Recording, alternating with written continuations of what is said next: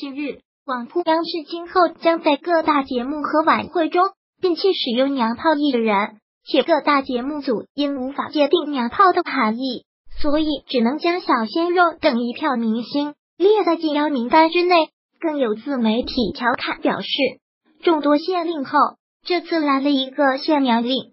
据悉，此前新华社曾发文批“娘炮”之风，引用古诗词来解读“娘炮”之风不可取，表示这种病态文化对青少年的负面影响不可低估。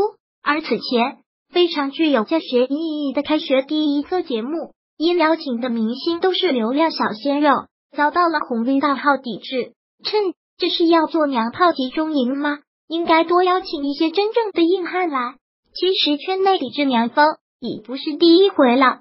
早在今年七月，谢霆锋就曾在某档音乐节目中直言表态，认为男生应该有男生该有的荷尔蒙。而当时正值偶像男团成员朱正廷因为化妆而拿手包挡脸，拒绝拍照，话题讨论度非常高。